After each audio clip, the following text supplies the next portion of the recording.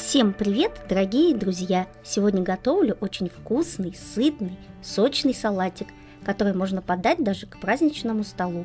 Получается очень аппетитный и ароматный. 200 грамм мяса, у меня свинина, нарезаем брусочками. Выкладываем на хорошо разогретую сковороду и обжариваем с двух сторон до золотистой корочки. Хорошо перемешиваем.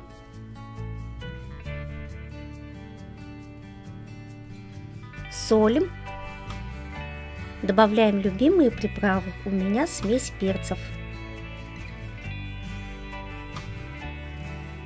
Наливаем немного воды, закрываем крышку и тушим на медленном огне до готовности. Выкладываем в тарелку и даем остыть.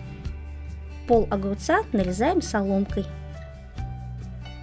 Половину сладкого перца также нарезаем соломкой – Одну маленькую луковицу нарезаем полукольцами. Измельчаем один зубчик чеснока.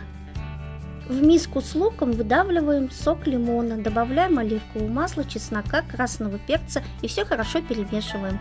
В глубокую тарелку выкладываем мясо, огурец, сладкий перец, заправку с луком, немного солим и все хорошо перемешиваем.